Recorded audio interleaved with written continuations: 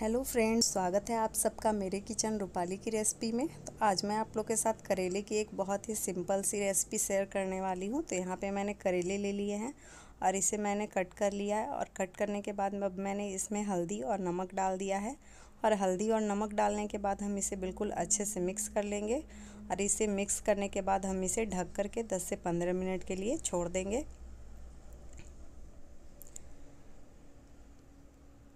तो अब यहाँ पे 10 से 15 मिनट हो चुके हैं तो अब मैंने यहाँ पे ढक्कन को हटा लिया है और करेले में अब आप देख सकते हैं कि थोड़ा मॉइस्चर आ चुका है नमक डालने की वजह से। नमक डालने से करेले में पानी छूटता है।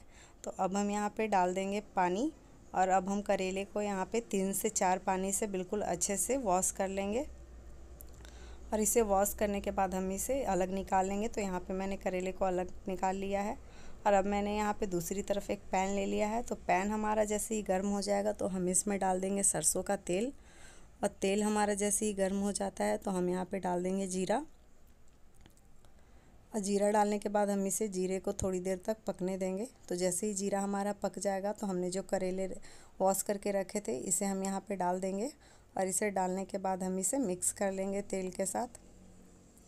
और इसे मिक्स करने के बाद हम इसे यहाँ पे करेले को थोड़ी देर तक ढक कर के पकाएँगे। तो थोड़ी देर के बाद आप आप देख सकते हैं कि मैंने यहाँ पे ढक्कन को फिर से हटा लिया है।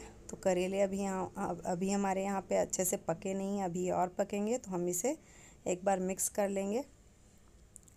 और इसे मिक्स करने के बाद अब हम इसमें डा, डाल देंगे कटे हुए प्याज। और प्याज डालने के बाद हम इसे करेले में अच्छे से मिक्स कर लेंगे प्याज को। और करेले और प्याज को मिक्स कर, मिक्स करने के बाद हम इसे ढक करके लो फ्लेम, मीडियम फ्लेम पे थोड़ी देर तक और पकाएँगे।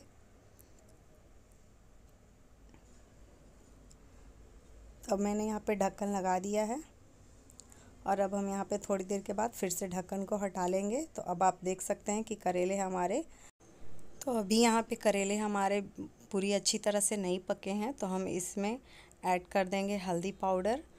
हल्दी पाउडर डालने के बाद हम इसमें ऐड कर देंगे स्वाद अनुसार नमक, और हल्दी पाउडर और नमक डालने के बाद हम इसे मिक्स कर लेंगे करेले और प्याज को अच्छी तरह से।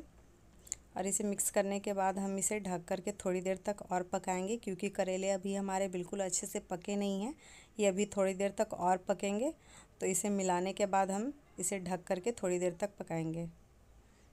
तो थोड़ी देर के बाद मैंने यहाँ पे फिर से ढक्कन को हटा लिया है तो अभी अच्छी तरह से नहीं पके हैं।